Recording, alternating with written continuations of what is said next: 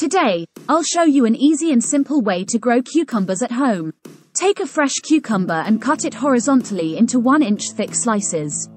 Fill a container with potting soil or compost and place the cucumber slices on top, spacing them a few inches apart.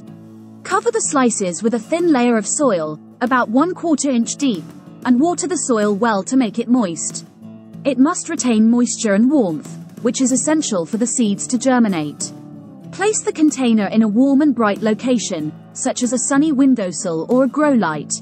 Water it regularly but be careful not to overwater, as it can cause the seeds to rot. After about 7 to 10 days, you should see sprouts emerging from the soil.